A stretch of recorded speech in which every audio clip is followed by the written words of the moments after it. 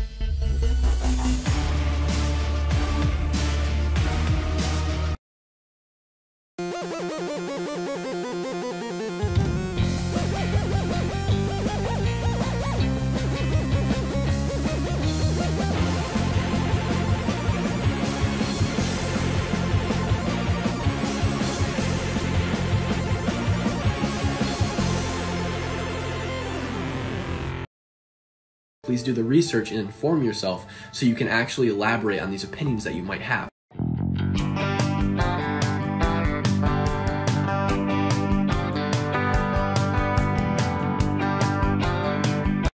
Wait, wait a minute, what?